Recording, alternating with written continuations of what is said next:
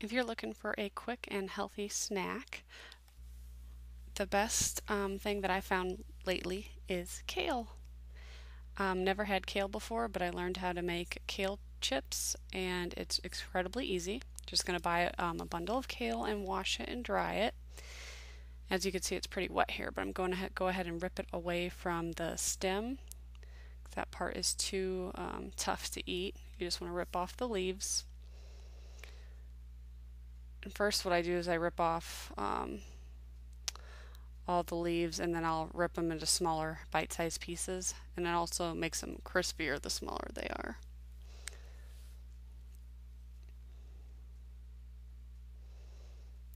As you can see it comes off pretty easily. And get rid of those stems and dry it off as best you can.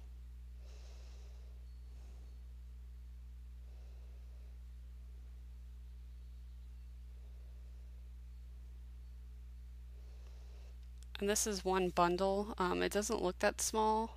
It doesn't look like much, I'm sorry, until you unbundle it and wash it all, and it actually ended up making two trays of kale.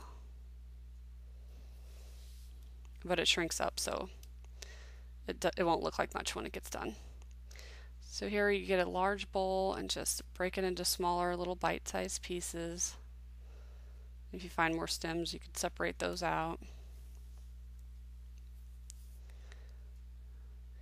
Some people do this part directly on the baking pan, the baking sheet, but I don't like to do that. I like to try to coat everything.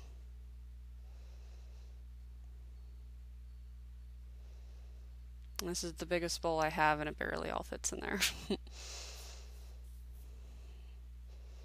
okay, so now we're going to add a little bit of olive oil, only about like a tablespoon or so.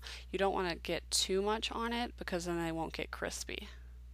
We just want a little tiny coating, that way it doesn't burn, helps cook it. And I grabbed the wrong olive oil bottle, so I have to go get my used one. I didn't measure this out, I normally don't, I just kind of eyeball it. But be careful not to use, the first time I made them I used too much and they weren't very crispy. And then you could choose whatever toppings you want. I like salt, pepper, and garlic on mine. So I kind of do this twice. I'll go ahead and put some pepper on now.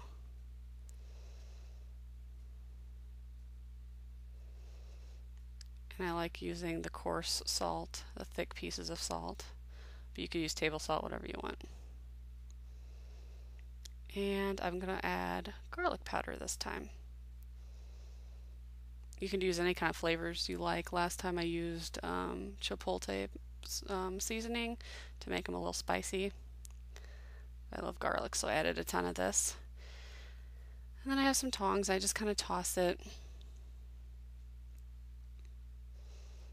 Make sure it gets coated.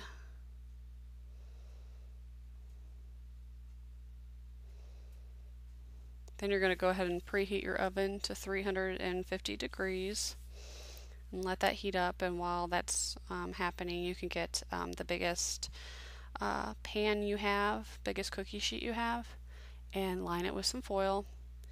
And I go ahead and spray some of the nonstick spray down too.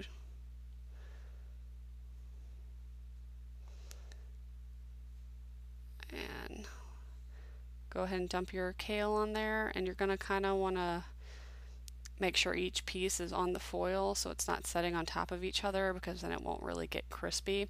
This is basically the same as the um, baked broccoli recipe that I, the video that I made for that, which if you haven't checked that out, it's the best broccoli ever. and it's super easy to make. I've lately been baking and roasting vegetables and it's really delicious. So I put about half of what I made on here. And then just to make sure it's seasoned, I go ahead and add the salt and garlic again.